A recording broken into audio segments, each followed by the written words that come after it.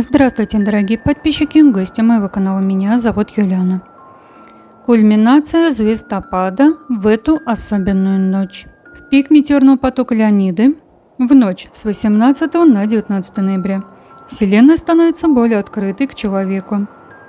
Самое время при помощи несложного гадания узнать ответы на свои насущные вопросы, а также понять, суждено ли исполниться задуманному.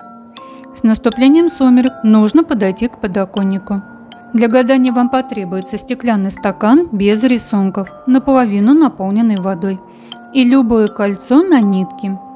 Далее, после окончания всех приготовлений и во время самого ритуала, важно сконцентрироваться.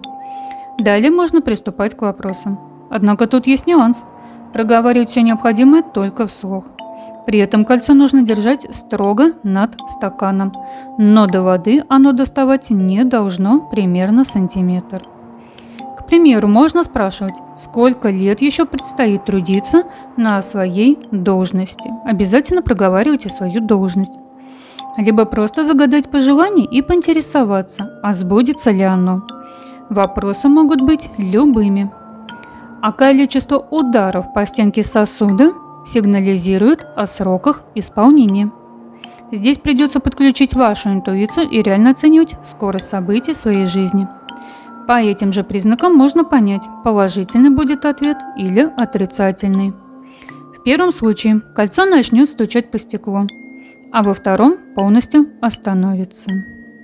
А если вы хотите, чтобы вам приснился вещий сон, то это кольцо, которое вы использовали в гадании, положите под подушку. И когда уже будете ложиться спать, скажите такие слова. «Колечко, колечко, к тайному приведи, правду мне покажи». Вот проговаривайте один раз.